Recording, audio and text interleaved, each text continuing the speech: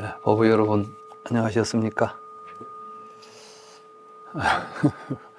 어, 방학이 드디어 끝나고 이제 오늘 어, 가을 학기 공부가 시작됐습니다. 음, 좀올 여름이 길게 느껴졌죠? 어, 뭐 우리들이 공부하고 싶은 열망 때문에도 좀 길게 느껴졌겠지만 워낙 날씨가 덥기도 했고 또 어, 어, 일기가 불순해서 어, 비도 많이 오고 참 어려운 음, 계절이었던 것 같습니다. 아, 갈수록 이렇게 우리들의 에, 삶의 어떤 조건들이 어려워지는 것을 보면서 에, 우리는 이러한 것들의 원인을 어, 뭔가 좀 잘못 생각하고 있는 것 같아요. 음, 사람들이 이게 모두 이제 외부의 원인이 있다고 생각하는 거예요. 그래서 그걸 어떻게 해결하기 위해서 밖에다가 자꾸 이제 예, 관심을 가지고 어, 뭐 해결하죠. 어, 물이 넘치면 댐을 쌓아야 된다는 등뭐 이런 이제 식이란 말씀이죠. 어, 그런데 사실은 이게 다 우리들의 마음이 지어낸 일들이거든요. 음. 부처님께서는 이걸 업보라고 말씀하셨습니다. 어, 나 자신과 나의 환경이 사실은 우리의 삶의 결과물인 것입니다. 예, 그렇기 때문에 이러한 문제들을 해결하기 위해서는 우리들이 스스로 우리 자신의 마음을 닦아야 되는 것입니다. 요즘 또 학교에 전에는 선생님들이 자꾸 학생들을 뭐 한다 해가지고 이제 문제가 생겼는데 야 그러다 보니까 뭐 학생 인권 조례도 만들고 뭐 학생들을 보호를 한다 해가지고 뭐 이렇게 하다 보니까 이제는 또 어, 학생들이 이제 문제가 된다. 뭐 교사들이 이제 어렵게 돼 있다. 그래 또 이제 뭘 바꾸려고 합니다. 그래서 뭘 법을 바꾸고 뭘 하면 될 것처럼 세상에 법 바꿔서 해결될 문제였다면 지금까지 그렇게 많이 바꿨는데 문제 해결 안 될 까닭이 없지 않습니까? 저는 붓다나라 지게바론문을 전국에 있는 학생들이 날마다 학교 하루 수업하기 전에 읽고 이대로 실천하면 전국에 있는 학교의 문제는 하나도 없이 다 해결된다고 봅니다. 안 그렇습니까? 아, 다른 사람이 무슨 말을 해도 내가 영향을 받지 않겠다고 하루를 살아가는데 거기서 무슨 문제가 벌어지겠습니까? 이렇게 좋은 해결책을 두고도 헛돈을 쓰는 거예요. 나는 거기에 들어갈 돈을 우리 붓다나라에 투자를 해주면 3년 만에 모든 학교 문제 해결할 자신이 있어요. 3년 아니라 3개월 만에 해결할 수 있어. 아니, 사흘 만에 해결할 수 있어. 거짓입니까? 사실 어떤 사람들은 불교 뭐 수행이 어렵고 뭐 어떻게 할지도 모르고 어, 이렇게 이야기합니다. 그런데 알고 보면 참 쉬운 것입니다. 지게바론문 저는 이거보다 지금까지 더 훌륭한 수행법을 어디서 본 적이 없습니다. 그럼 이 지게바론문은 뭐 제가 만들었습니까? 이건 안구 따라 니까야에서 그대로 갖다가 경의 내용을 정리해가지고 우리들이 일상적으로 외우기 좋게 만들어낸 것입니다. 그러니까 부처님 말씀입니다. 이게 지계입니다. 말하자면 계율을 수행하지 않고 무슨 선정을 닦은다? 선정은 계율 뒤에 저절로 따라오는 것이지. 계율을 지키지 않은데 선정이 올 까닭이 없는 것입니다. 다시 말해서 우리의 마음을 닦는다고 하는 것은 우리가 살생하지 않고 도둑질하지 않고 다른 사람들에 의해서 외부로부터 오는 자극에 물들지 않고 우리는 이제 외부로부터 오는 자극을 객진 번외라고 부릅니다. 사실은 옆에서 다른 사람이 무슨 이야기를 하든 내가 무엇을 봤든 이건 다 객진 번외들인 것입니다. 이런 것들에 내가 흔들리지 않고 영향받지 않고 나 할 일 충실하게 해가는 것. 그 가운데 우리 마음이 안정되는 것이고 거기에서 지혜가 이제 일어나는 것입니다. 헛된 망상 분별이 아니라 사실을 있는 그대로 볼 수 있는 안목이 열리는 것입니다. 이런 걸 우리가 이제 천안통이다, 뭐, 어? 숙명통이다, 이렇게 말하는 것이지, 그게 어떤 신통한 초능력을 이야기하는 게 아닙니다. 아, 저희들은 지금까지 우리 불교 역사가 부처님의 진정한 가르침은 어디로 가버리고 그냥 예, 불상 모셔놓고 그 앞에다 절하는 불교로 변화해버린 지가 오래됐습니다. 예, 얼마 전에 이제 유튜브에 보니까 불교가 어떻게 해서 세계화가 되었냐 이런 이야기를 하더라고요. 근데 예, 그게 이제 간다라 어, 인도의 그 간다라 지역 있지 않습니까? 그 간다라 지역이라는 것은 지금은 파키스탄, 아프가니스탄 이쪽 그 판잡 에, 이제 인도의 북서부 쪽입니다. 어, 거기가 사실은 알렉산더가 그쪽까지 왔던 거예요. 인도 뭐 저쪽 밑으로 남쪽으로는 못 내려왔지만 북서부 쪽까지 왔었고 어, 고대 인도라고 하면 지금 아프가니스탄 일부하고 파키스탄까지를 옛날에는 인도라고 불렀던 것입니다. 그래서 어, 거기에 이제 정착해서 어, 히라빈들이 도시를 이루고 어, 살았죠. 그래서 이제 예, 알렉산드리아라고 하는 많은 알렉산드리아가 한 군데가 있는 줄 알았더니 알렉산더가 간 곳마다 알렉산드리아더라고. 이게 알렉산더가 세운 동네란 뜻이에요. 그래서 이제 히라빈들이 모여 살고 있었고 거기에 불교가 전파가 된 겁니다. 아, 그래가지고 그때 이제 에, 보니까 어, 그때까지도 우리 불교에는 부처님을 우상하지 않았습니다. 그래서 이제 부처님을 뭘로 표현했냐면 법륜으로 표현했어요. 법륜.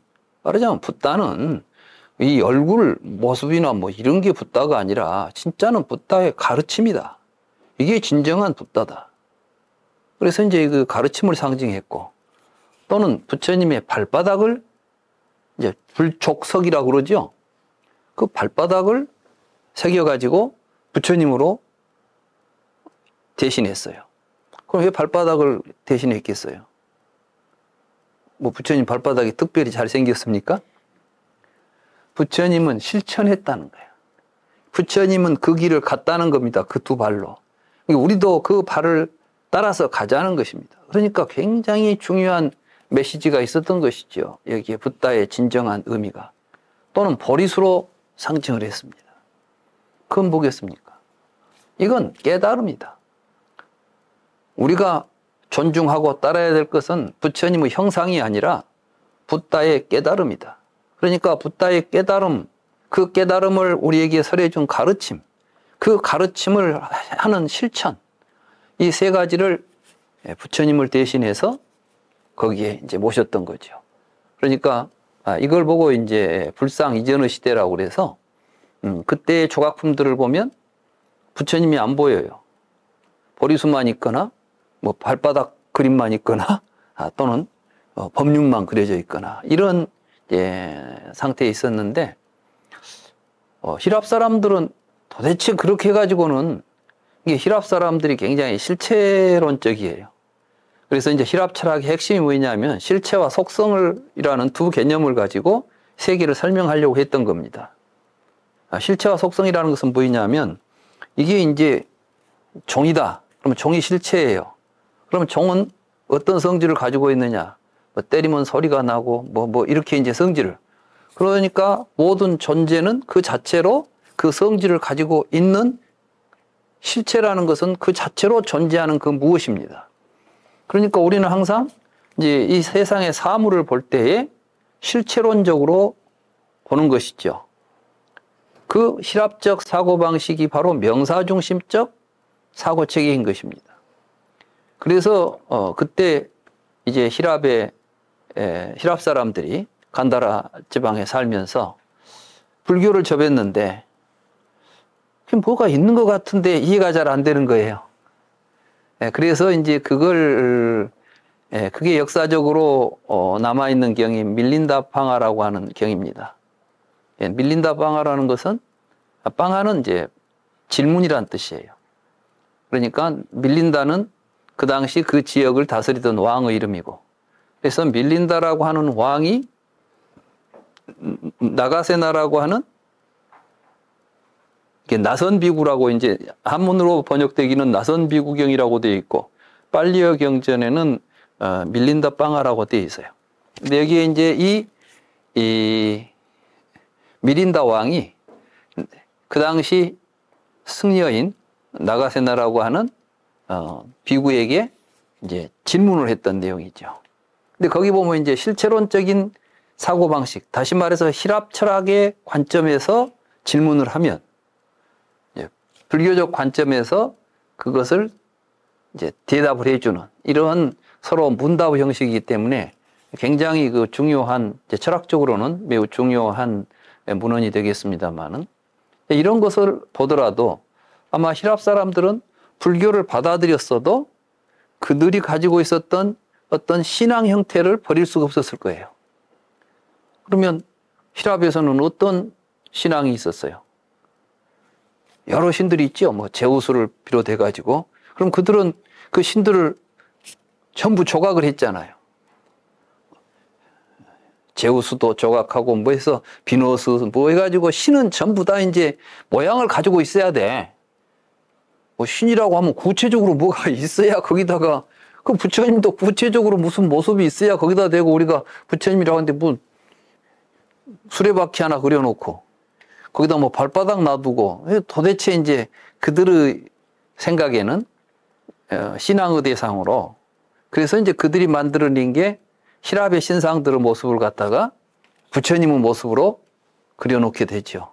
놀랍게도 거기에는 부처님이 가운데 있는데 아쇼카가 옆에 아니 아쇼카란다 알렉산더가 옆에 있고 어, 헤라크레이토스 있잖아요. 헤라크레이토스는 뭐입니까 그 헤라클레스 뭐 이런 이제 그 용맹한 희랍 신화에서 또는 희랍의 역사에서 굉장히 힘 있는 사람들이 부처님 뒤에 가 옹호하고 있는 거예요. 부처님을.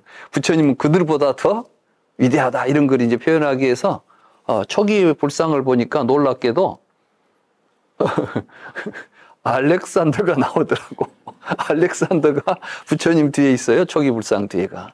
뭐 이런 걸 보면은 히랍 사람들이 가지고 있었던 종교적인 어떤 이런 생각들이 오히려 많은 사람들에게는 더 보편적이었던 것이죠. 우리도 뭐 어디 가서 불상이 있어야 뭐가 있는 것 같잖아요. 제가 그래서 처음 어, 대학원 박사과정 마치고 난 뭐 별로 교수의 생각이 없었어요. 그래서 이제 그때 대학원 공부하는 과정에 아 불교는 새로운 불교 운동을 해야 되겠구나. 그래서 후배들하고 같이 포교당을 만들었잖아요. 그래서 이 포교당은 이제 대승적인 생각을 가지고 하자. 그래서 이름도 마하연이라고. 그래서 이제 포교의 집 마하연 이렇게 해가지고 어 저쪽 방배동에 예. 이제 법당을 만들었는데 새로운 불교 운동 하면서 불상을 모실 수도 없고 그래서 그냥 아무것도 없이 법 법성만 놔뒀어요 이제. 이 교탁 하나 놔두고 이제 사람들 모이면 여기서 불교 법문을 하면 되지. 여기서 부처님 법이 설해져야지 무슨 불상 놔두고 거기다 뭐 하는 게 무슨 의미가 있겠냐 해가지고 안 했어. 그리고 이제 법당에 한 4분의 1인가 공간을 이제 연구실로 만들었죠. 연구실이 이제 밥도 해 먹고 잠도 자고 거기서 뭐 하는 이제 내 공간으로 꾸미고 어 근데 동네 사람들이 뭐 포교당이라 하니까 이제 어 궁금해서 사람들이 왔다 갔다 하긴 했는데 와서 딱 보고 하는 이야기가 부, 부처님도 없네 그리고 나가버리는 거야. 부처님도 없네 그러고 나간 사람은 다시는 오지라는 거예요. 야, 참 어렵구나. 예, 불상 없이 불사한다는 게 이렇게 어려운가. 그래가지고 그때 저는 1년인가 그거 하면서 뭐 법당 운영비는 엄청 들어가죠. 그 뭐 40평이나 되는 어, 강남에 40평 법당을 운영하려고 하니까 한 달 경비만 해도 아 우리 집사람 그 초등학교 교사였는데 우리 집사람 월급에 곱절이 들어가더라고. 그 한 달 운영비가. 그런데 뭐 돈은 들어오는 데도 없고 그걸 어떻게 운영해요? 결국은 접었죠. 세상 사람들이 정법을 알아본다는 것은 정말 이렇게 어려운 것입니다. 그렇기 때문에 이제 그런 사람들에게 뭔가 이 방편을 가지고 그 와, 오게 해야 뭐가 될 거 아니야. 아유, 사람이 앉아 있어야 법문을 하지. 아무도 없는데 나 혼자 앉아 있어서 뭐내 생각만 가지고 뭐가 되겠어요. 그래서 이제 그때 제가 그랬죠. 속으로. 옛날 어르신들이 다 이렇게 해놓은 데는 이유가 있구나. 저게 중요해서 모셔놓은 게 아니라 저걸 보고 사람을 모이게 하기 위해서 일단 사람이 모여야 일이 되니까. 예, 그랬던 것 같아요. 그래서 이제 불상이 만들어지니까 이 불상으로 인해서 엄청난 속도로 불교가 전파되는 거예요. 그래서 불교가 이제 가는 곳마다 불상이 세워지기 시작해. 그래서 그게 어디까지 가냐? 아, 북쪽, 북쪽으로 이렇게 올라온 불교는 바다 끝까지 가는 거예요. 인도, 아니죠. 일본까지 갔잖아, 일본까지. 일본도 가서 보세요. 불상 어마어마하게 큽니다. 이 동대사라고, 도다이지라고 하는 그 나라에 있는 제일 큰 절이 있어요. 교토든가? 도다이지가? 교토에, 교토에, 나라에 있죠, 나라에. 내가 그 가서 보니까 동양에서 제일로 크대 그 법당이 이게 왜 법당이 큰가 했더니 그 안에 불상을 모시니까 불상에다 집을 지어 놓다 보니까 어마어마한 법당이 만들어지는 거예요. 그러니까 법당의 전부가 다 불상이 절반은 차지하고 있어요. 그러니까 부처님 집 하나 짓는데 큰 집이 필요했던 거지. 지금 우리가 필요한 것은 큰 법당이 필요해요. 많은 사람이 모일 공간이 필요해요. 우리는 불상은 아주 작지만 공간은 크잖아요. 근데 옛날에 법당들을 보면 불상을 모시기 위해서 지은 집이지 사람이 모이기 위해서 지은 집이 아니야, 그 집이. 그러니까 그걸 이제 금당이라고 그래요, 금당. 부처님 집이다, 이런 뜻이지. 아, 아무튼, 이제 그러한 연고로 해서 불교가 세계적으로 크게 예, 번창할 수 있었던 그러한 중요한 계기가 바로 불상의 예, 출현이다. 이렇게 보는 관점이 있어요. 그래서 가만히 생각해 보니까 그 말이 맞는 것 같아. 그러니까 이제 불상이 나오면서부터는 불상을 뭐 바위에다도 새기고 어디 그냥 굴을 파가지고 굴에다도 새기고 불상 없는 데가 없는 거야. 오직 그러니까 이제 불상 불교가 되어버린 게 이게. 이게 불쌍하게 되어버렸지 불교가 사실은. 사실은 불교는 불상불교가 되면 안 되거든. 우리 스스로 우리의 마음을 밝히는 이러한 가르침을 해야 되는데 이제 불상이 나오다 보니까 사람들이 불경에는 별로 관심이 없는 거야 그냥 그냥 거기 이제 오저 저기다 뭔가 기도를 하면 되겠네 싶으니까 막 이제 거기다 대고 어, 불공만 드리는 거지. 그런데다 이제 또 불공을 드리면 좋은 공덕이 온다 해가지고 또 경들이 만들어져요, 이게. 예. 그런 경들하고 같이 맞물려 가지고 세상에 이제 유행하는 것은 그런 경들이 더 세상 사람들에게 관심을 받는 거예요.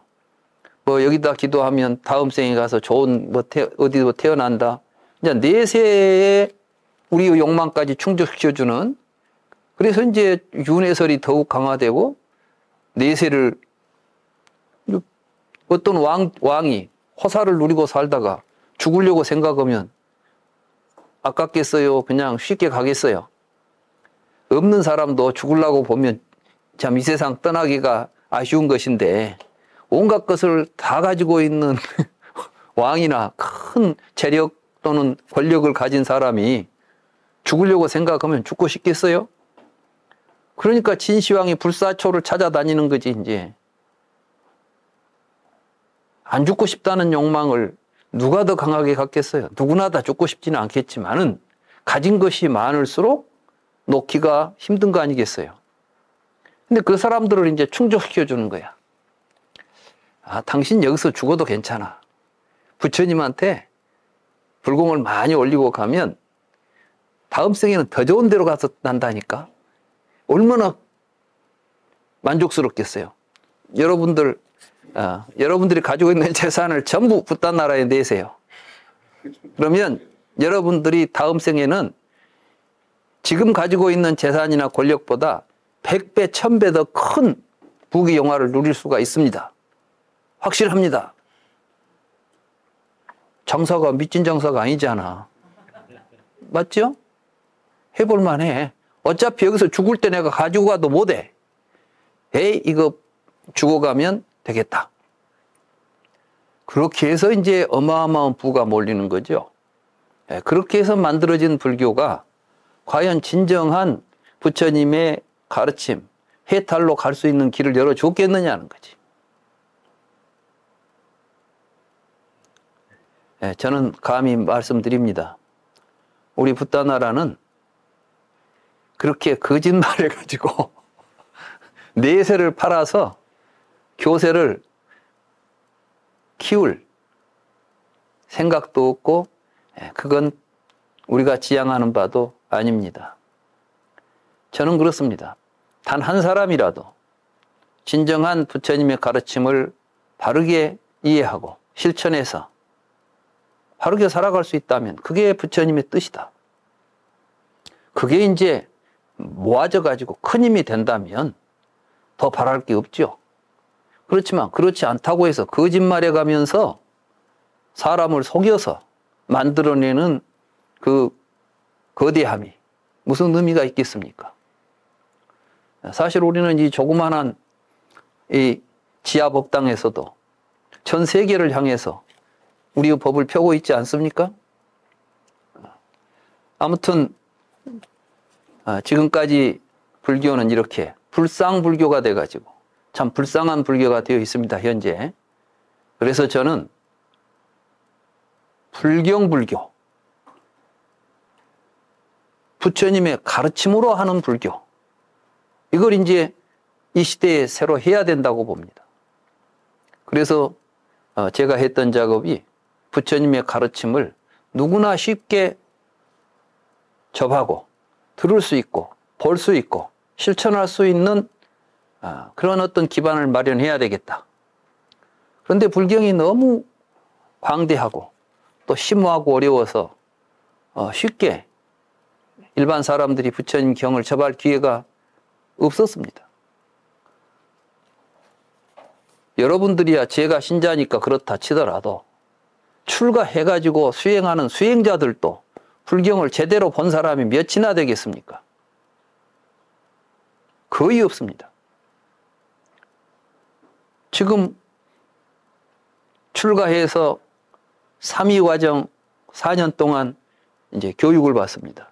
우리 현재 불교의 조계종의 교육 과정에는 출가해서 3위 기회를 받으면 4년 동안 불교대학이나 강원에서 수학을 하고 비구계를 받도록 되어 있죠. 아, 잘 되어 있죠, 교육 체계는. 그럼 그 4년 동안 뭘 배웁니까? 그럼 거기에서 정말 불경을 다 이렇게 공부합니까? 실제로 불경 하나도 제대로 공부를 못하고 4년을 보냅니다.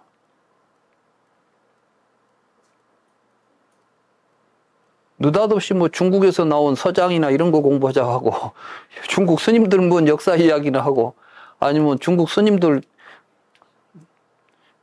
자기들끼리 했던 대화를 갖다가 이게 뭐 화두니 무엇이니 해가지고 그냥 어? 어 그것만 하면 된다 하지 부처님이 무슨 말씀했는지도 모르는 거야. 깨닫자고 하는데 뭘 깨닫자고 하는지 깨달음에 대한 실체가 없어.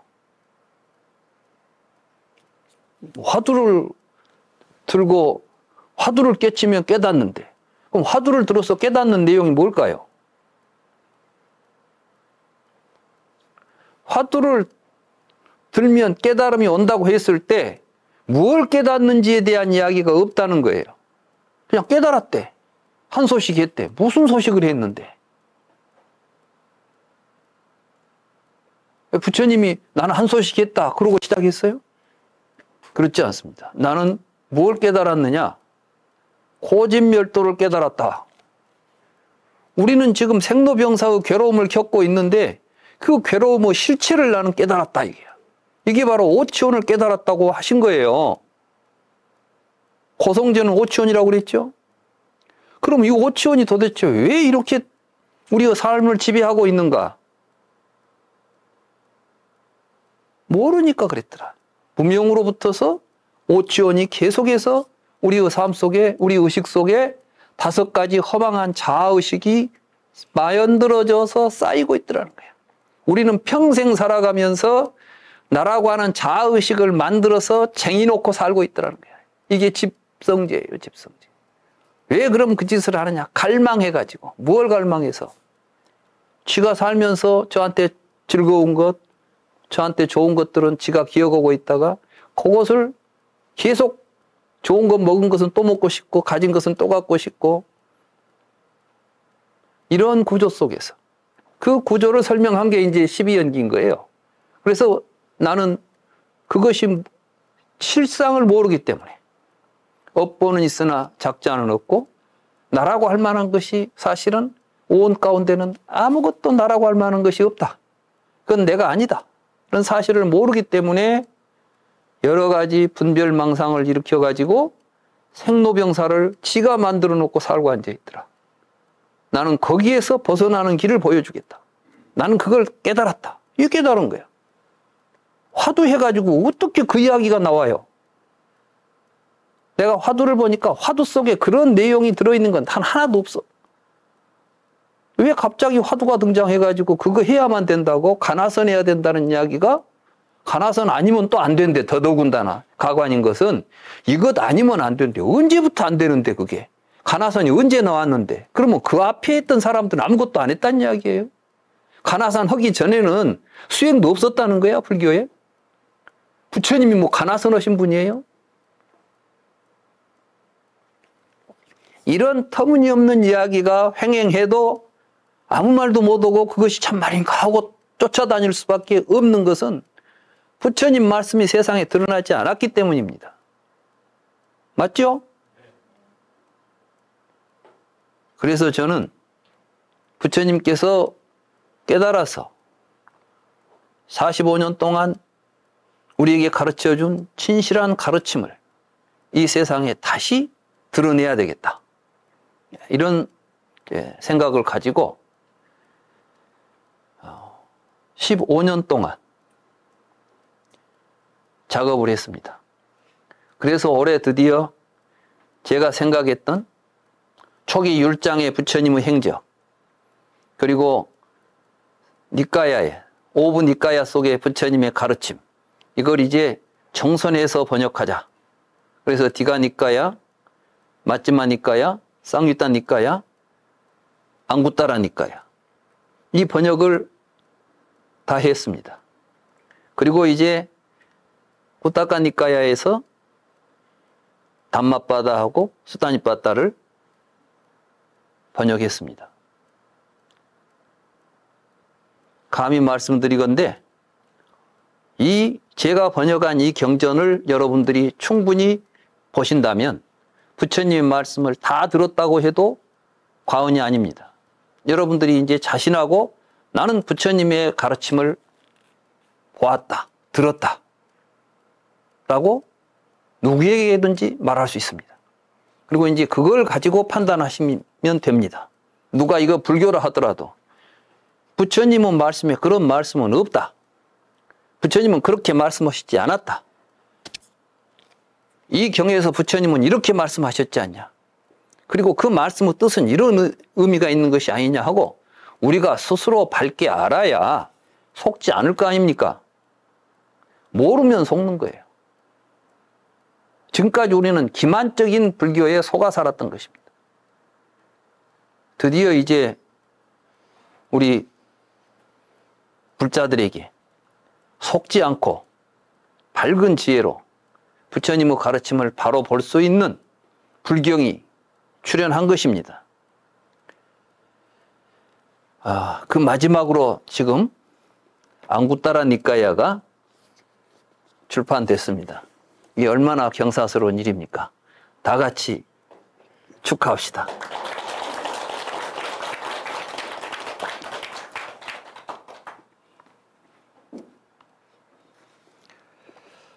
어, 사실은 이제 쌍유타 니까야까지 번역하고 그 다음 작업으로 했던 게 율장에서 부처님이 성도하셔가지고 열반하시니까 경이 결집되는 과정이 율장에 순서대로 이렇게 쭉 어, 기술이 되어 있는 부분들이 있습니다. 그래서 어, 마와과와 쫄라와과라고 하는 초기 율장에서 부처님의 행적 부분만을 제가 뽑고 번거로운 뭐 계율 하나하나가 어떻게 만들어졌고 이런 내용들은 지금 우리들이 부처님 당시에 어떤 비구가 어디 가서 무슨 짓을 하고 있으니까 그렇게 해서는 안 된다 해가지고 뭐 계율이 하나 만들어주고 이런 걸 소소히 세세하게 할 필요는 없죠. 그렇지 않습니까? 어, 비구계가 250개인가 되고 뭐 비구니 계가 350개인가 되는데 그러한 계목이 하나하나 만들어질 때마다 그 사연을 적어 놓은 게 사실은 율장이에요. 근데 그걸 다 할 필요는 없잖아요. 그래서 제가 이제 율장을 보니까 놀랍게도 그 율장의 첫 출발이 부처님께서 내란자라 강가의 보리수 아래서 처음으로 바른 깨달음을 성취하셨다.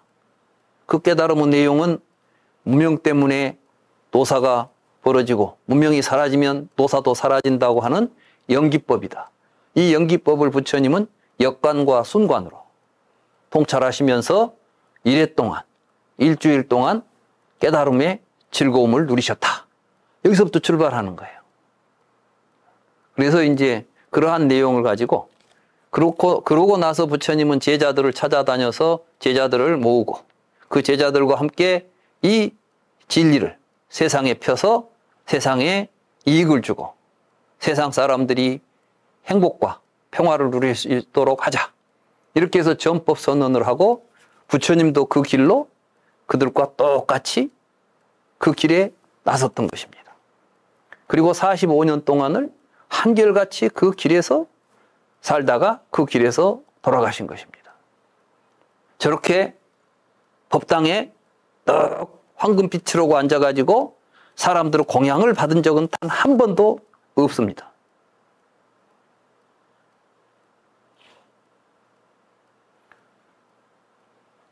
어떤 때는 흉년, 흉년든 마을에 가가지고 말죽도 얻어먹고 어, 유명한 일화가 있잖아요. 부처님이 가진 것이 없어서 능력이 없어서 얻어먹고 돌아다녔습니까? 우리는 걸씨고 돌아다닌 부처님을 섬겨야 됩니다. 여기 법당 위에 높이 앉아가지고 황금 옷을 입고 있는 부처님을 섬기서는 안 됩니다. 우리가 진정으로 따르고 섬겨야 될 부처님은 누더기에 바로 하나 들고 아침이면 식은 밥 얻어서 자시는 부처님을 생각해야 됩니다. 부처님이 걸식으로 갈 때 요즘은 보니까 걸식도 다 형식이 돼가지고 좋은 거 다 갖다 막 바치는데 부처님은 칠가식 일곱 집을 돌아다니는데 그것도 설거지할 때쯤 되면 가가지고 혹시 먹다 남은 밥 주세요 해가지고 남은 밥 갖다가 처리하신 분이야. 그게 위대한 거예요. 그게 거룩한 것이고. 그건 창피한 일이 아니죠. 요즘 자본주의 입장에서 본다면 창피하고 보잘 것 없는 일처럼 보이지만 그렇기 때문에 그러한 부처님을 섬기는 우리도 우리의 삶 속에서 우리가 검소하게 살고 가난하게 사는 것이 부끄러움이 되어서는 안 됩니다. 근데 오늘 우리가 살고 있는 이 자본주의 사회에서는 가장 부끄러운 일이 뭐예요? 가난이야. 맞죠?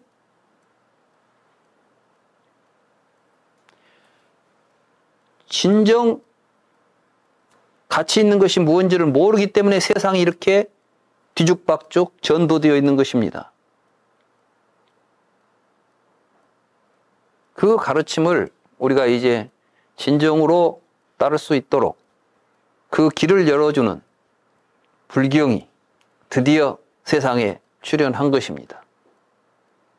저는 정말 요즘 어, 좀 붕 떠 있는 듯한 기분이에요. 이걸 이제 다 해놓고 나니까 사실 요즘 이제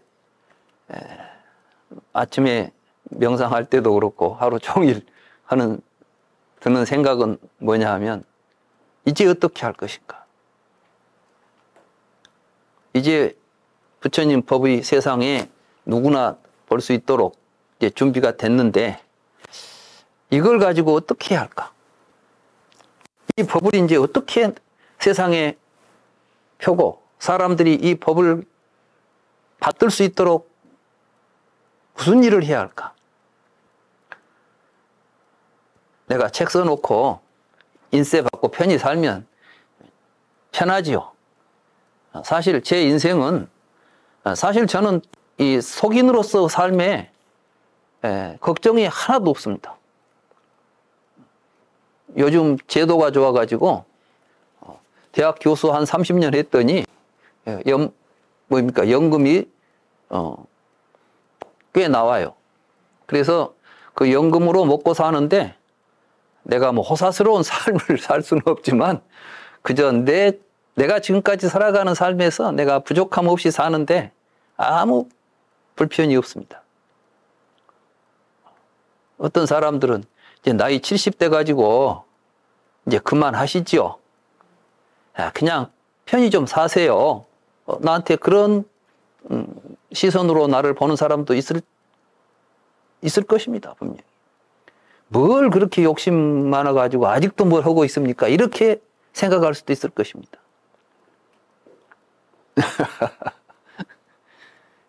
아, 제가 제 욕심이 있어서 그러겠습니까? 아, 사실 저는 요즘 오늘 죽어도 좋다는 생각 가지고 삽니다. 이제 나는 내가 하고 싶은 일 했고 해야 할 일 했다. 그러니까 내가 오늘 죽는다고 해도 나는 여한도 없고 아무 내가 미련도 없다. 다만 이러한 부처님의 말씀이 상업적으로 사람들에게 독서의 대상이 되어서는 안 되겠다. 그냥 한 번씩 읽어보고 나도 불경 봤어. 불경이 이런 이야기 써줬더만. 이런 식으로 불경이 세상에 돌아다니면 안 되겠고 그 안에 있는 뜻이 무엇인지를 또 보다 정확하게 모든 사람들이 그 불경의 의미를 안으로 체험하고 그걸 증명할 수 있도록 해야 되겠다. 나 자신도 내가 불경을 번역하고 불교를 공부하면서 느꼈던 것은 불교를 독서하듯이 공부하지 않았습니다. 정말 이 경의 이 말씀은 도대체 어떤 의도에서 했을까? 부처님은 마음을 읽기 위해서 불경을 봤습니다. 그리고 그 마음을 드러내주기 위해서 부처님의 마음을 드러내기 위해서 번역을 했습니다. 그래서 저는 이 제가 번역한 이 불경을 가지고 여러분들이 불경의 글자를 보는 게 아니라 부처님의 말씀을 통해서 부처님의 마음을 읽어가고 그 부처님의 마음을 여러분들이 이해했다면 그 마음을 여러분들은 마음으로 삼아서 살아가야 된다. 이게 불교 공부고 불교 운동이다. 우리 부탄 나라는 이제 그 운동을 하려고 합니다. 음, 저는 이제 모르겠습니다. 사람의 수명을 누가 알겠습니까? 엊그저께 건강한 내 친구가 죽었다는 소리를 들었어요.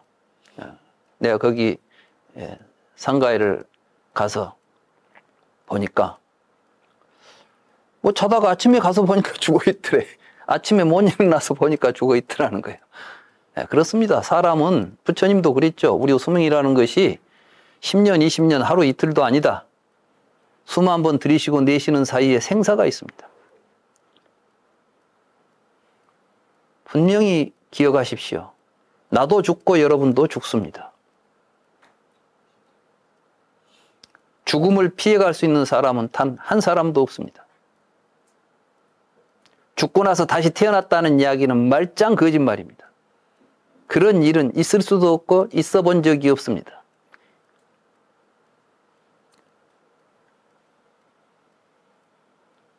어떻게 죽을 것인가? 죽음 앞에서 나는 어떻게 살 것인가? 붓다는 그 문제를 해결하신 분입니다. 이제 붓다 나라는 이러한 예, 불경의 출현을 가장 먼저 보고 또 그 불경을 가지고 세상에 부처님의 뜻을 펴는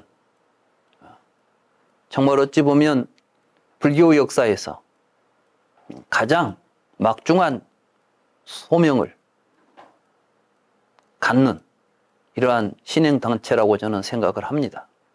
저는 여러분들이 뭐 어디 어, 우리 붓다나라에서 공부하시는 여러 법부님들이 그 뭐 어디 법당에 가나 나는 이제 붓다나라 가고 너는 어디 다른 절에 가고 하듯이 하는 게 아니라 여기서 같이 공부하는 여러분들이 그러한 소명감 또 그러한 긍지 큰 원 이런 걸 가지고 어, 함께 가기를 어, 희망하고 있습니다.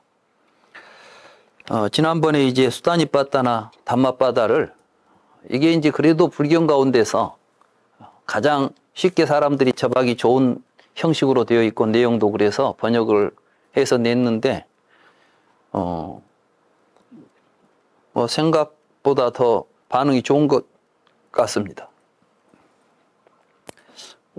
제가 네이버에 그냥 단맛바다를 쳐고 쳐봤더니 한때는 이게 종교 부문 베스트셀러 5위까지 가더라고.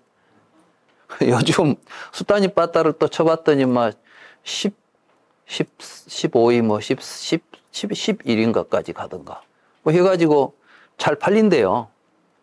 그건 그만큼 많은 사람들이 볼 수, 쉽게 볼 수 있는 내용이라는 것이기도 해서 너무 반가웠고, 특히 또 우리 여러 법부님들이 이걸 가지고 열심히 또 읽으면서, 어, 공부하는데 많은 도움을 얻는 것 같아서 너무 좋습니다. 특히 이제 대구의 우리 김정희 회장님이 어, 이걸 또 계속해서, 어, 올리면서 하고, 어, 저도 이제 예, 오늘 아침에는 우리 집사람하고 같이 이제 어, 절을 하고 앉아 있다가 가만히 앉아만 있기가 그리고 우리 집사람한테도 좀 법문을 좀 하고 싶은데 근데 또 이 제일 어려운 게또 가까운 분한테 법문하기가 제일 어렵잖아요. 그래서 어, 수다니 빠따를 읽었어요. 앉아서 음, 이렇게 음, 제 1장 우라가와까를 읽었죠. 앉아서 음.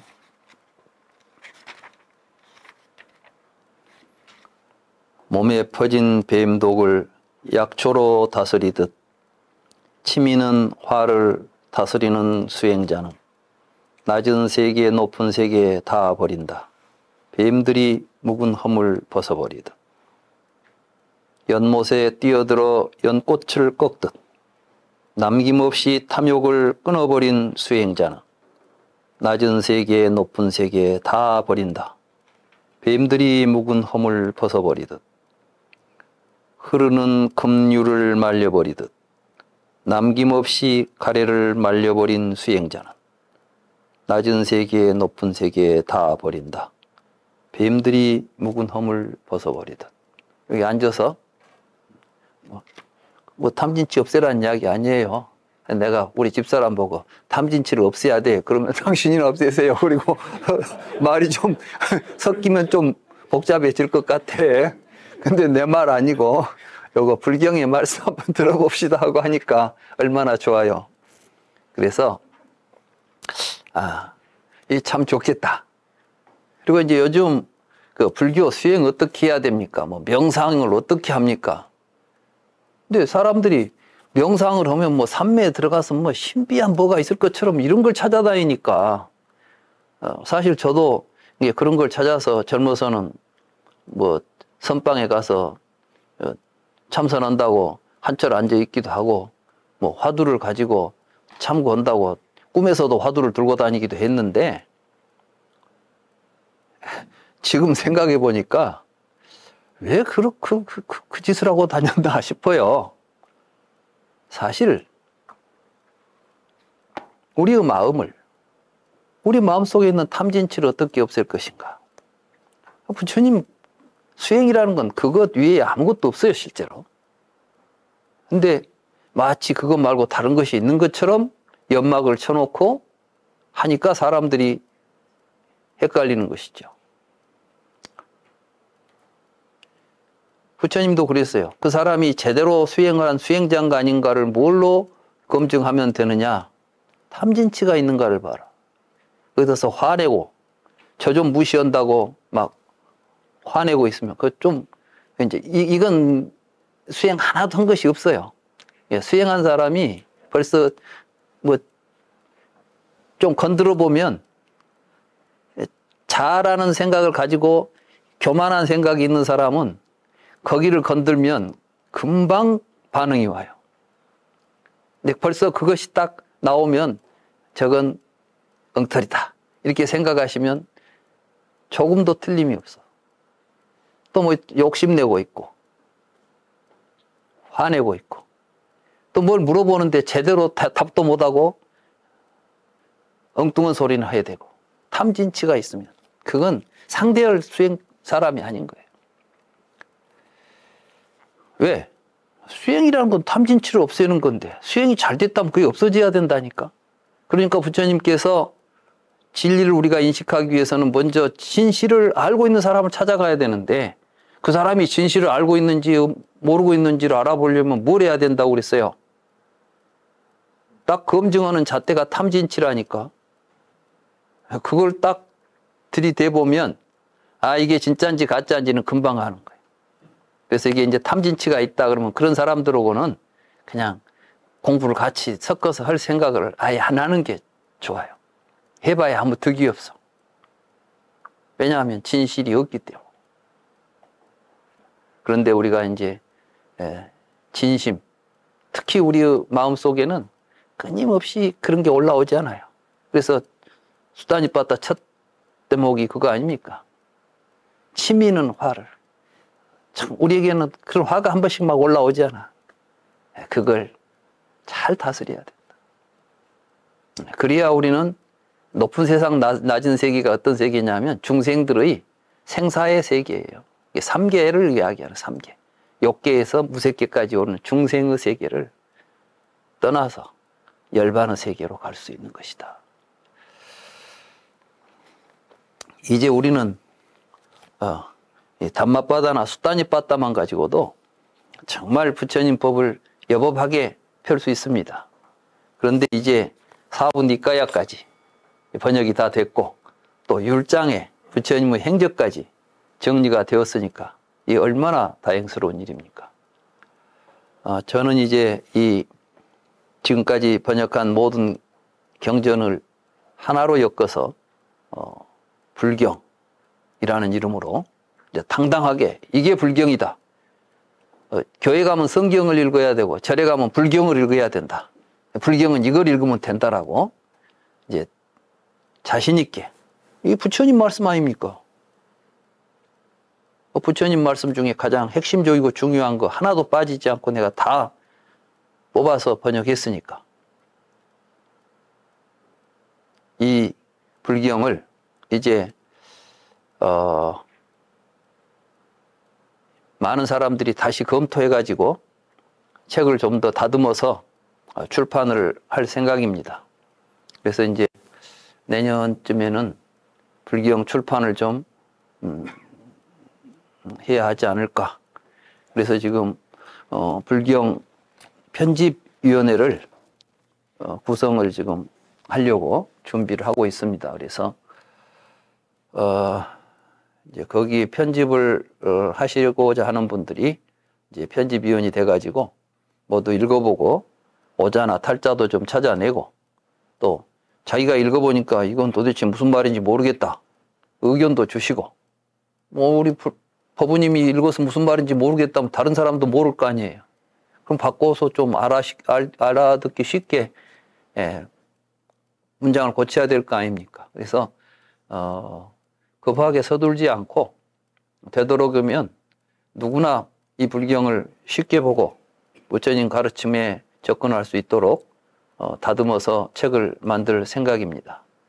어, 그래서 이제 어, 출판사에서 뭐 책은 나오지만 이제 이런 책은 이제 불경이 나오면 이제 단행본으로 돌아다니는 책이 될 것이고 하나의 불경 속에서는 이제 큰 음, 불경 속에서 어, 한 덩어리가 될 것입니다. 그래서 아, 이 불경은 또 어, 지금 예, 미국에 있는 우리 조근영 법부님하고 앤드류 법부님 또 이번에 이제 유윤희 법부님이라고 어 저쪽에 어딥니까? 시드 아 뭐야?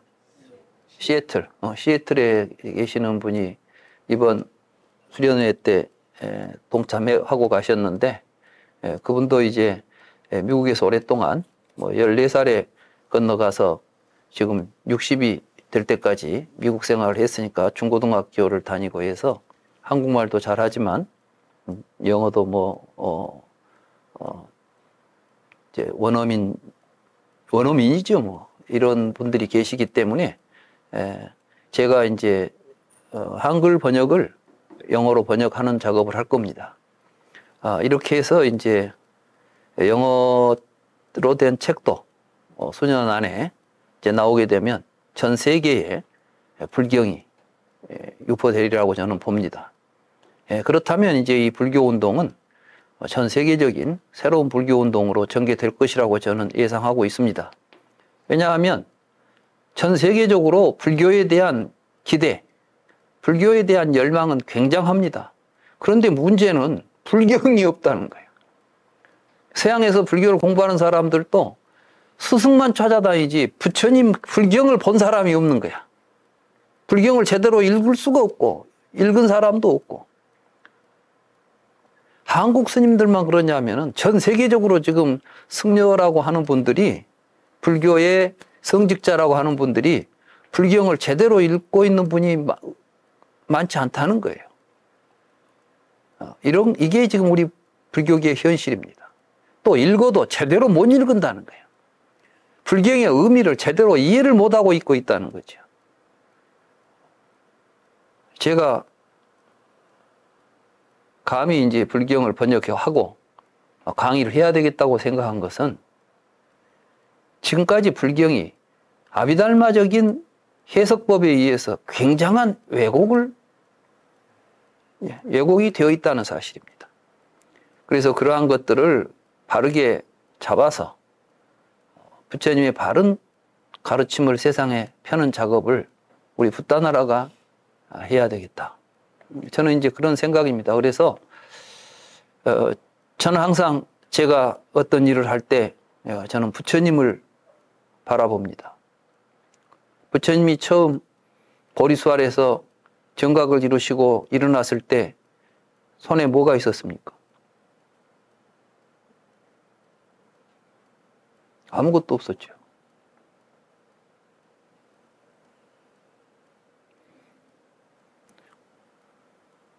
부처님은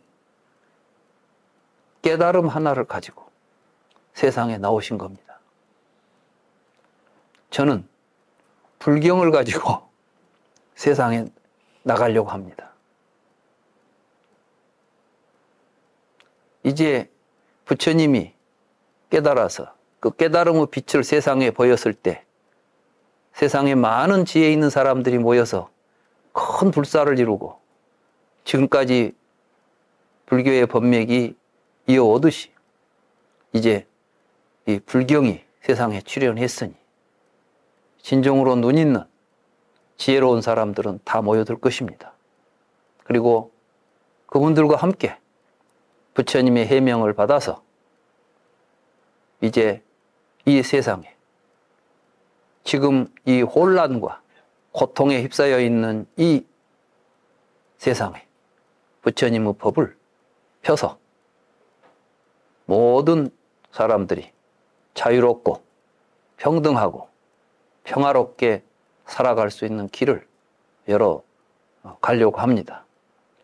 같이 함께 힘을 모아서 여러분 함께 갑시다.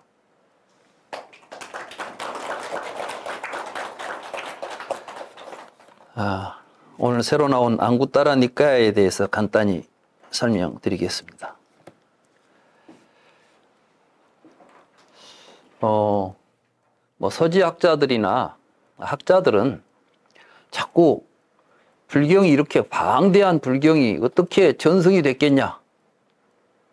아마 처음 전승될 때는 수따니빠따나 단마빠따 이런 식으로 해서 뭐 좀 간단간단한 이야기로 전승이 되다가 뒤에 가서 커졌을 것이다.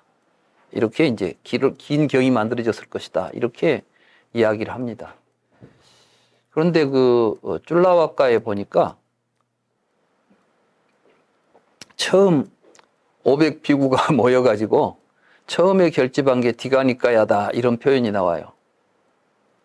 그리고 나서 이제 뒤에 주석서들을 보면 디가니까야, 마찌마니까야, 쌍유따니까야, 안구따라니까야 순서로 경이 예, 편집이 예, 결집이 되었다. 그래서 긴 경이 모아지고 중간 크기가 모아지고 그 다음에 주제별로 모았고 그러다 보니까 주제별로 모으다 보니까 그 주제에 못 들어가고 빠져 있는 이제 경들이 있더라는 거예요. 그래서 그런 경들은 법수대로 모았다.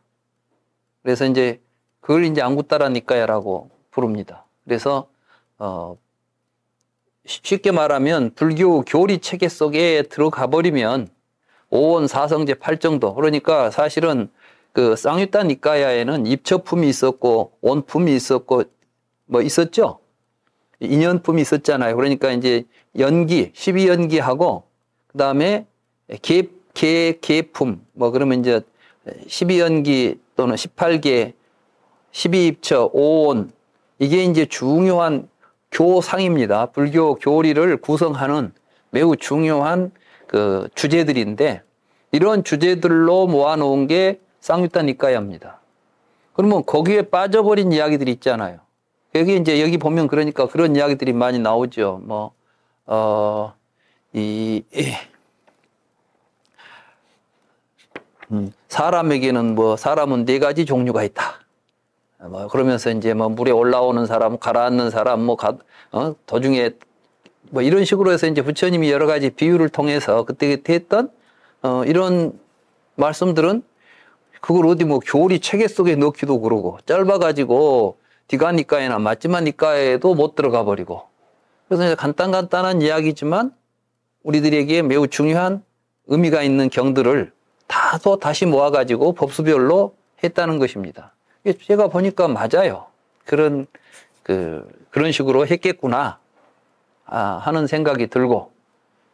그리고 오히려 수단이빠따나 단마빠다 같은 경우는 그런 데서 나온 가타, 개송들을 모아가지고 경이 만들어진 거지 이게 먼저 있어가지고 큰 경우로 발전했다고 보기는 음, 참 어렵겠다.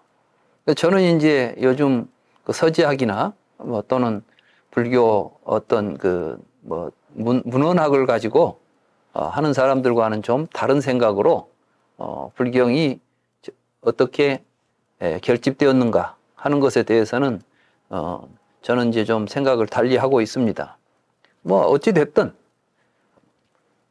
그것이 이제 중요한 건 아니고 이 경이 이미 예, 나와 있기 때문에 이 경을 가지고 이제 앞으로 어, 저희들은 공부를 할 것입니다. 그래서 이제 안구따라 니까야는 안구따라라는 말 자체가 안가라는 말하고 우따라라는 말을 합쳐서 안구따라라고 부릅니다. 안가라는 것은 뭐냐면 이렇게 손가락처럼 이런 것들이 이제 안가 가지 있잖아요. 이런 것도요.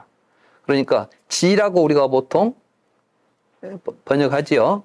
아탄가 그러면은 여덟 개 팔지. 그러니까 팔 정도 아탄가 뭐 막가 뭐 이런 식으로 이제 예. 아탄가라는 것은 여덟 가지 길이란 뜻이에요. 그러니까 여덟 개의 개념으로 돼 있잖아요. 정견, 정사, 정어, 정업, 정명 뭐 이렇게 해서 여덟 개가 되면 이제 아탄가 그러듯이. 그래서 그 아타가 이게 뭡니까? 예, 어, 이 안구 안가가 안가가 하나인 것. 예를 들면 이제 이런 거예요. 예, 그래서 이제 이 안가가 하나인 것에서부터 열 하나인 것까지를 모아놓은 거예요. 하나인 걸 다 모아놓으면 이제 하나 모음, 둘인 걸 안가가 둘인 걸 모아놓으면 둘 모음, 안가가 열한 개짜리는 예, 열한 개 모음 이렇게 했는데 뒤에 가다 보니까 이제 5, 6, 7, 8 뭐 이렇게 가게 되면 세 개, 네 개를 합치면 일곱 개가 되잖아요. 그럼 앞에 나온 뭐 세 개하고 네 개를 다시 합쳐가지고 일곱 개 속에 들어있는 거야. 아홉 개는 뭐 네 개, 다섯 개 있는 걸 다시 합쳐갖고 아홉 개도 하고 뭐. 그러니까 이제 10일 이제 그 모음에 가서 보니까 이건 한 말 또 하고 또 하고 뭐 앞에 있는 것또 하고 해가지고 복잡하기만 하지 새로운 내용도 없는데 경수만 그렇게 많이 모아놨어요. 그래서 이 안구따라 니카야가 번역을 하려고 어 보니까 정말 이걸 계속 번역해야 되나? 할 정도로 너무 이게 이제 좀 그 혼란스러워요. 그래서 그 중에서 과감하게 딱 우리가 중요하다고 생각할 수 있는 내용들만 뽑아버리고 다른 것만 다 이제 겹치고 막 이런 것들이 너무 많기도 하지만은 이걸 다 이제 제거해 버렸습니다. 그래가지고 음, 하다 보니까 어, 사부 니까의 중에서 가장 이제 볼륨은 적습니다. 예, 그렇지만 여기에는 다른 니까에 없는 이런 내용들이 다수 있기 때문에 굉장히 의미 있는 경이 되겠다. 이런 이야기인데 하나 이제 들어보면 이 안구따라 니까야 첫 경이 뭐냐면 여자의 형색, 예. 여자의 모습이에요. 근데 비구들이여 나는 어떤 형색도, 어떠한 모습도, 모습, 어? 어떤 모습도 여자의 모습만큼이나 남자의 마음을 사로잡는 것을 하나도 보지 못했다. 하나 나오잖아요. 이게 여자의 모습 하나를 가지고 이제 근데 그 다음엔 또 뭐냐면은 또 소리, 이게 색성, 향, 미, 촉 이 다섯 개 있잖아요. 그러면 소리 하나를 가지고 야, 색을 가지고 하나 경이 나오고 그 다음에 소리를 가지고 나오고 그러니까 다섯 개의 경이 전부 하나씩만 이야기를 거론하면서 이제 하나 모음이라는 경 속에 들어있는 거예요. 그러니까 일법품은 경 하나하나가 한 줄이 경 하나야. 이런 식이 돼가지고 이제 만들어지니까 번역을 할 때 이거 하나씩 번역하고 있으면 경이 수도 없이 많잖아요. 저는 이제 그냥 색성, 양, 미, 촉 다섯 가지를 합쳐가지고 비구들이 어떤 형색이나 소리, 향기, 맛, 촉감도 여자의 형색이나 소리, 향기, 맛, 촉감만큼 남자의 마음을 사로잡는 것은 하나도 보지 못했다고. 비구들이여 여자의 형색이나 소리, 향기, 맛, 촉감은 남자의 마음을 사로잡는다고. 그 다음에는 또 이제 남자의 형색이에요. 또 남자의 형색을 이제 여자들은 여자의 마음을 사로잡는다. 뭐 이제 이런 식으로 해가지고 이성 간에 그러니까 살아가면서 이성에 대한 그 뭐랄까요 이그 어떤 음 그 매력 또 이성의 이성만큼 우리의 마음을 사로잡는 게 없다 이런 이야기를 이제 처음부터 하면서 시작이 돼가지고 이제 결국 뒤에 가면 이제 마음의 문제로 발전해 갑니다. 그래서 그러니까 마음을 수련해야 된다. 수련하지 않는 마음은 이런 데 빠져들어 가지고 항상 문제를 일으킨다. 뭐 이런 식으로 이제 전체적으로 되는데 그래서 제가 그 맥락만 줄여가면서 경들을 다섯 개의 경을 묶어 가지고 하나의 경으로 재편해 가면서 이제 이렇게 일법은 번역을 했어요. 그래서 그 복잡한 내용을 간단히 추려 놓으니까 여러분들이 보시기에 이렇게 보더라도 사실은 예, 예, 본 그 안구따라니까야 본경을 보면 뭐 형색 이야기했다, 소리했다 이 다섯 개나 계속해서 반복되는 이야기를 정리했기 때문에 우리가 보기에는 훨씬 더 어, 의미와 의미도 어, 빠지지 않고 어, 보는데도 편리하게 이렇게 번역들을 쭉 했습니다. 그래서 이제 그런 식으로 일법 번역을 했고 이제 이 법에는 또 둘, 뭐 둘이라는 이제 두 부류, 뭐 비구들이요 두 부류의 어리석은 사람이 있다고. 그러니까 두 부류니까 이런 식으로 이제 뭐 두 부류의 못된 사람의 참된 사람과 못된 사람이 있다. 이렇게 해가지고 이제 뭐 둘로 나누면 또 두 법. 이런 식으로 해서 어, 진행, 진행되는 겁니다. 그래서 근데 이제 저 뒤에 계속 가다 보면 어, 굉장히 여러분도 이제 기어디서 많이 들었던 좋은 그 의미 있는 내용들이 그런 내용을 담고 있는 경들이 이 안에 이제 다수 있습니다. 그래서 어, 어, 이번 이제 어, 학기부터 양구 따라 니까야 공부를 함께 에, 하게 되었습니다. 어, 무엇보다도 여러분들이 지금까지 음, 벌써 이제 제가 서울에 와서 이 강의를 시작한 지가 한 10년 가까이 되죠. 어, 이제 번역 시작은 제가 15년 됐지만 처음 디가니까야가 처음 이제 어디 디가니까야가 몇 년도에 나왔더라? 어? 14년도에 나왔죠. 그러니까 딱 해수로 10년이네. 올해가 23년이니까. 그래서 그때 겨울에 아마 제가 이제 1월 달 아마 14년도 1월 달쯤 제가 아마 시작한 것 같은데 그렇게 해가지고 지금 음, 한 10년 동안 저희들은 이제 디가 니까야부터 쌍유탄니까야까지 경 하나도 빠지지 않고 하나하나 그 경들을 함께 읽고 그 의미를 어, 같이 생각해 왔습니다.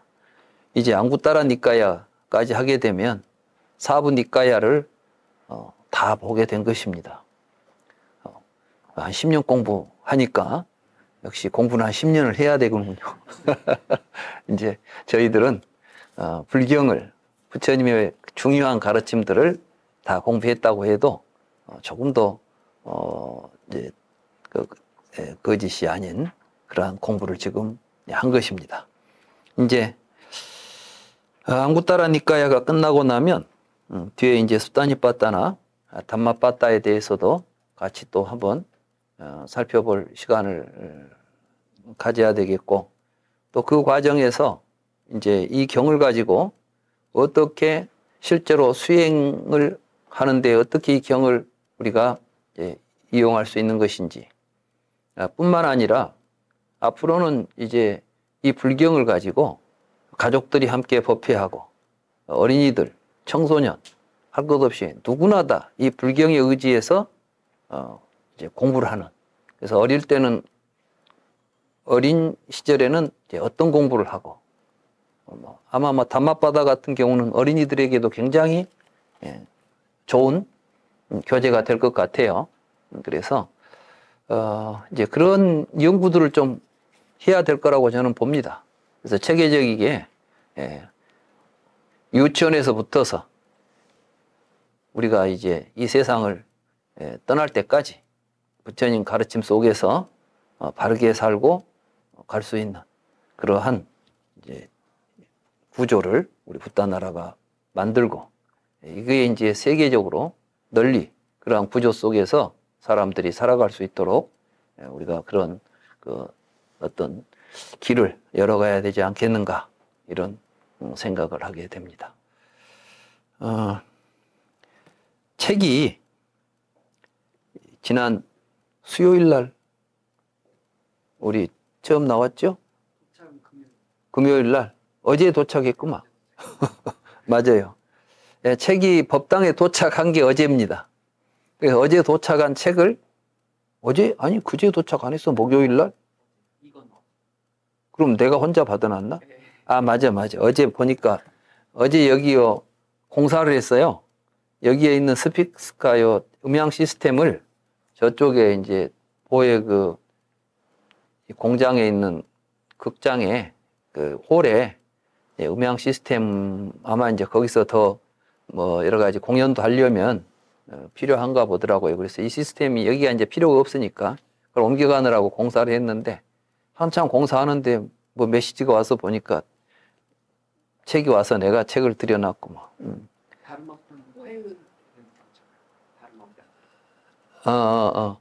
그래서 이제 어, 그 출판사에 각그 지역 법당에는 여기로 보내는 것과 동시에 그쪽으로도 보내도록 했기 때문에 아마 지역 법당에 도착했나? 화요일 화요일은 아, 지역 법당에는 화요일에 아마 도착 음, 하기로 되어 있는 것 같습니다. 아마 월요일 날 거기도 이제 토요일, 일요일은 쉬니까 월요일 날 붙이면 화요일 날 도착할 것 같습니다. 어, 지금 이 법당에 오신 분들은 이쪽에 미리 예, 어제 배달된 음, 책을 한 권씩 이제 받아보실 수가 있게 되었는데, 어, 아마 이제 뭐 인터넷으로도 어, 주문하면 책은 곧 살 수가 있을 것이고 어, 책이 필요하신 분들은 또 법당에 오시면 여기서 또 책을 어, 공급하고 있으니까 어, 각자 이제 어, 인연 따라서 책을 구입하셔서 다음 주부터는 다음 주는 이제 광주 가게 되죠. 어, 광주 법당으로 이제 가게 에, 되겠습니다. 그래서 아, 광주 법당에서 음, 다음 주 공부할 때는 음, 모두 다 책을 구입해서 어, 함께 안구 따라니까야 공부를 어, 할 수 있었으면 좋겠습니다. 아, 오늘은 첫 시간이고 어, 또 어, 교재도 어, 여러분들이 다 어, 받지 못했기 때문에 제 이야기는 여기까지 하고 음, 함께 하신 어, 여러 우리 예, 법우님들 아, 각 법당에 계신 여러 법우님들 또 줌으로 함께 하신 법우님들하고 인사 나누고 어, 그리고 나서 보니까 대구 법당 뭐 저기 울산 법당에는 어, 여러분들이 함께 하고 계시네요. 그러니까 오랜만에 또 함께 법당에 모이셨으니까 음, 강의 끝나고 나서 함께 법담 나누는 시간을 예, 갖는 게 좋겠습니다. 오늘 어, 제 이야기는 여기까지 하고 어, 여러 법부님들하고 줌에 에, 함께 동참하신 여러 법부님들 인사 나누는 시간을 갖도록 하겠습니다.